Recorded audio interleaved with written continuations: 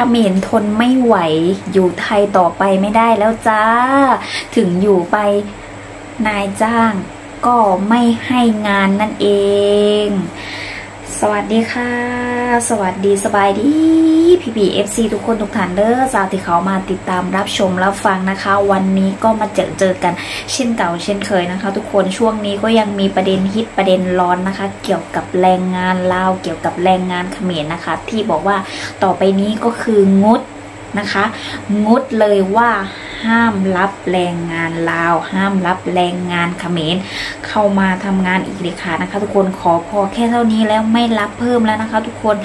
แล้วแรงงานเขมรแรงงานลาวบางคนบางท่านที่ประพฤติตนไม่ดีไม่ถูกไม่ควรนะคะ ทุกคนก็ได้หันหลังจากไทยกลับไปสู่บ้านเกิดของตนเองนะคะ วันนี้เราก็จะมาพูดคุยกันนะคะ เกี่ยวกับประเด็นนี้ในความรู้สึกลึกๆของคนที่ใช้แรงงานด้วยกันจะเป็นยังไงนะคะ ก็เรามาฟังกันเลยก่อนที่จะไปฟังก็ขอฝากกดไลค์กดแชร์ กดติดตามกด Subscribe นะคะ หรือว่า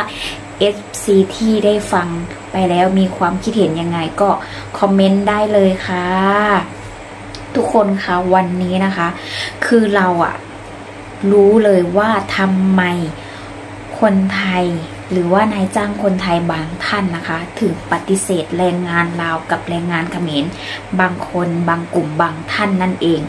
เนื่องจากว่าเนาะมีช่วงหนึ่งที่เขาบอกว่า อะคนลาวก่อนแล้วกันนะคะว่าทำไมถึงไม่รับ เนื่องจากว่าถ้าเป็นช่วงนี้มันเป็นช่วง อินเทอร์เน็ตใช่ไหมคะทุกคนและบางคนก็ใช้อินเทอร์เน็ตแบบที่ไม่รู้อีนู่นอีนี่อะไร คิดอยากทำอะไรก็ทำคิดอยากโพสต์อะไรก็โพสต์คิดอยากด่าใครก็ด่า บางคนก็เออนู่นนี่นั่น แล้วก็แชร์ความรู้สึกของตนเองจนมากเกินไป อย่างเช่นมีครั้งหนึ่งเนาะที่วันสองวันนี้เอง คือมีเจ้านายมาถามว่ามีคนงานไหม คืออยากได้คนงานค่ะ อยากได้แรงงานลาว นะคะ แต่ว่าถ้าอ่าแต่ว่าขอคนที่มีอ่าวุฒิภาวะที่มีความรับผิดชอบที่มากพอหรือว่าคนที่มีประสบการณ์กับการทำงานเยอะๆ แล้วก็อายุ 30 ปีขึ้นไป โอ้โห เราก็เลยงงเลยนะคะ ทุกคนว่าทำไมต้องอ่าเข่งคัดขนาดนั้น เพราะว่ารู้เลยว่ามันเป็นยังไงคือ บอกเลยนะว่าแรงงานลาวแรงงานเขมรเตรียมตัวรับเหตุการณ์นี้ไว้ให้ดีคือ คนไทยสามารถที่จะเลือกค่ะทุกคนเลือก เป็นสิทธิที่เราต้องยอมรับนะคะว่าจริงๆอะ่ะ คนลาวเนาะหรือว่าคนเขมรก็แล้วแต่ที่ช่วงเนี้ยเศรษฐกิจมัน อะ มันยังไงอะ่ะ คือมันแบบว่า วิกฤตมาก แล้วทีนี้คนก็เข้ามาเยอะเกินไป เข้ามาเยอะจนแบบว่าไม่หวั่นไม่ไหวมาก และทีนี้ก็บางคนก็แบบว่าไม่มีประสบการณ์เรื่องการทำงาน อ่าไม่มีความแบบความพร้อมหรืออะไรต่างๆ อะ บอกเลยว่าอยู่ยากทุกคนอยู่ยาก แม้กระทั่งคนที่มีงานประจำอยู่แล้วเหมือนอ่าเกี่ยวกับ แอดมินเองเนาะก็ยังต้องผวานะคะ ทุกคนบางช่วงเราก็ยังต้องผวาแล้วเราก็ต้องคิดว่าเออ เราต้องทำให้มันดีนะ ดีดีกว่านี้ดีขึ้นไปเรื่อยๆ เพราะว่านี่คือเรื่องจริงนะคะ ทุกคนเรื่องจริงมากๆเลยอะขอพูดต่อเนื่องเลยนะคะ ทุกคนว่าทำไมเจ้านายถึงต้องเลือกคนที่มีอะประสิทธิภาพในการทำงาน เพราะว่าสมัยนี้นะคะ ทุกคนคนตกงานเยอะมาก อันนี้ก็ไม่ได้ว่าให้เจ้านายหรือว่านายจ้างนะคะทุกคน อย่าบอกว่าท่านก็คิดถูกแล้ว เพราะว่ามันเป็นสิทธิของท่านเนาะว่าการที่เราจะเอาใครมาก็แล้วแต่ มาช่วยทำงานอะเราก็ต้องมี เราก็ต้องเลือกคนที่อะมีภาวะความรับผิดชอบสูง หรือว่ามีความสามารถเพียงพอที่จะ จ่ายเงินจ้างหรือเปล่า อันนี้คือน้ำตานองเลยไม่เหมือนแต่ก่อนนะเออยังไงก็ได้ ไม่เป็นก็ไม่เป็นไรเอามาฝึกงาน แต่ตอนนี้ไม่แล้วค่ะทุกคน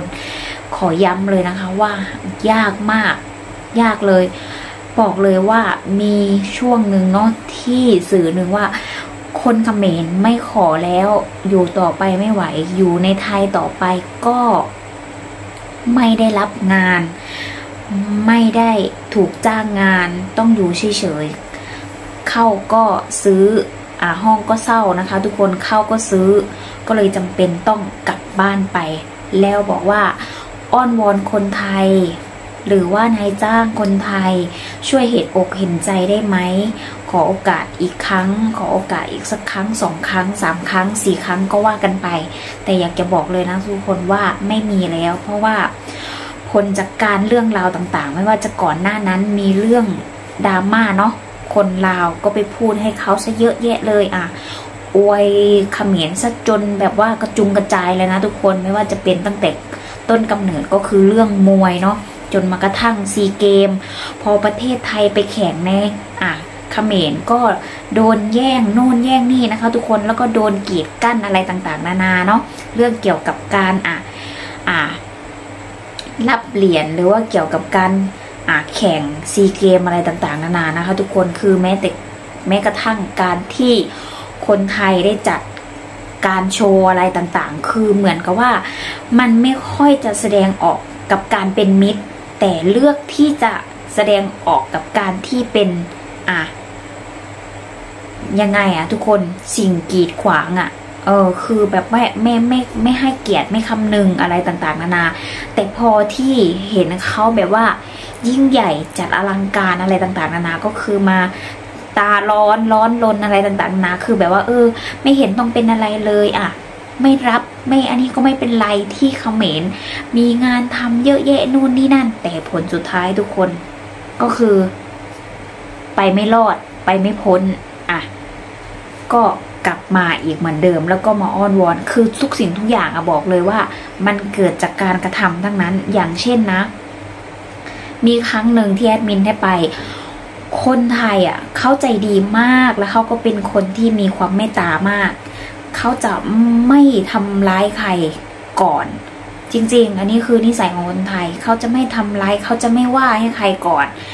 ถ้าบุคคลนั้นจะไม่ทำให้เขาเจ็บแล้วเจ็บ เล่าคือพูดง่ายๆคือ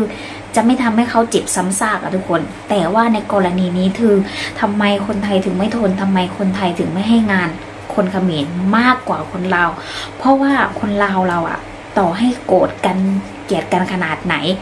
จะมีบ้างทะเลาะกันหวอแว้งกัน ด่ากัน ด่าทอมันเป็นเรื่องธรรมดานะคะ แต่ว่าไม่เคยที่จะเคมไม่เคยที่จะใส่ร้ายคนไทย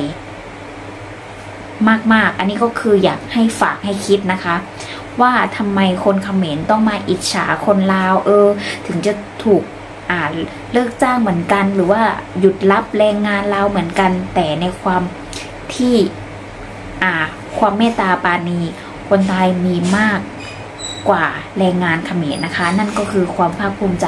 และก็ขอขอบพระคุณมากๆนะคะ ที่เมตตาแรงงานลาวเนาะก็ขอขอบคุณมากๆนะคะเนาะขอขอบคุณจากใจจริง ๆ ค่ะ ในฐานะที่เราก็เป็นคนหนึ่งที่ใช้แรงงานในประเทศไทยมานานหลายสิบปีนะคะ ก็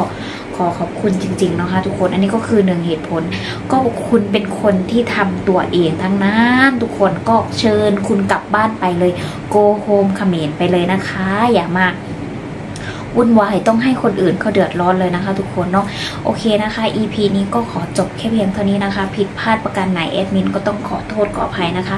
ถ้าชอบคลิปนี้หรือว่าได้รับชมรับฟังไปแล้วมีความคิดเห็นยังไงก็สามารถคอมเมนต์พูดคุยกันได้นะคะ